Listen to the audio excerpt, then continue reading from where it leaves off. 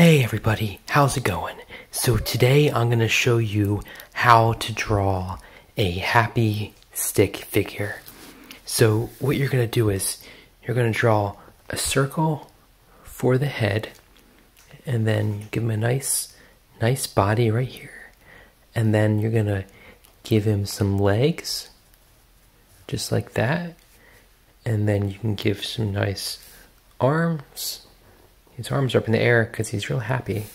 And then if you want, you can even, you know, give him some shoes, just like this. Everybody likes to have shoes on their feet. And then you give him some little, little stick people, little stick person fingers, just like that. And then you give him some hair on his head, just like that. Oh yeah.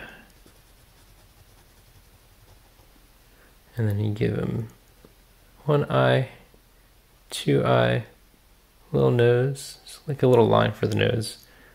And you a big bright smile. Look at that, he's so happy. You can give some eyebrows, just like that. And everybody needs a friend, so we're gonna give him a friend. We're gonna give this happy person a friend.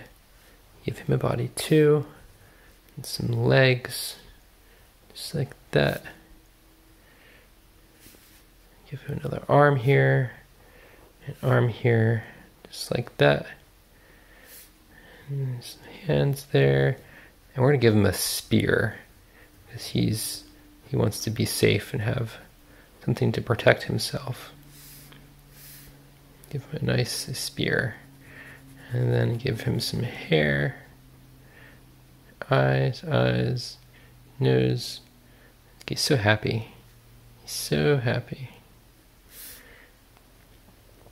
And yeah, there's two happy stick people. We can maybe give them some ground to stand on, just like that. And there's a big sun in the sky. Make it a nice looking sun. There's all the sun rays coming off it.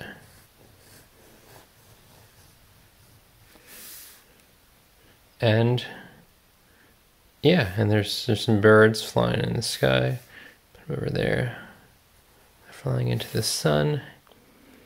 And yeah, that's what I call a nice, nice happy little picture. So, yeah, we'll see you guys later.